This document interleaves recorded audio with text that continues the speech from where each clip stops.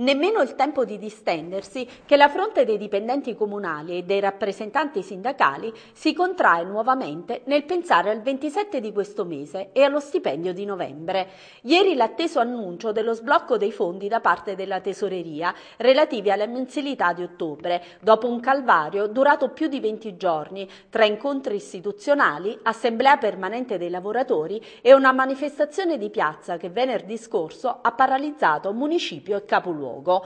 I primi versamenti sono comunque destinati agli operatori sociali e riguardano 4 delle 15 mensilità arretrate. Poi sarà la volta dei 570 impiegati di Palazzo Castropignano.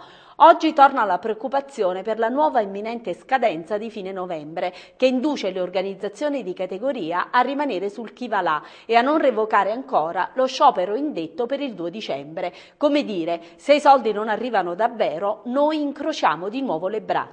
Ma il sindaco Pio del Gaudio e il suo team di governo tirano dritti per la strada intrapresa, nella convinzione che la dichiarazione di dissesto dell'ente era e resti l'unica via da intraprendere per permettere al Comune di uscire dalle sabbie mobili dei debiti accumulatisi negli ultimi 20 anni. C'è una crisi generale che è locale ma è anche nazionale, però credo che la città di Caserta eh, sia in qualche modo pronta a risorgere a rinascere.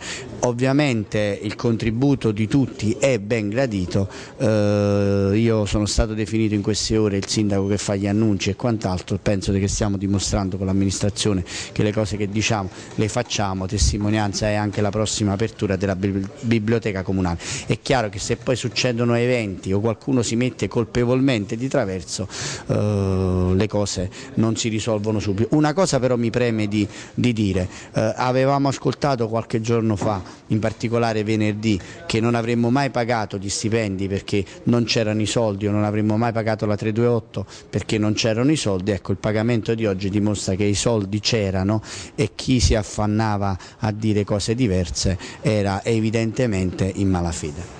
L'opposizione dal canto suo non resta a guardare. Oggi conferenza stampa sulle gravi questioni legate alle scelte della maggioranza di centrodestra.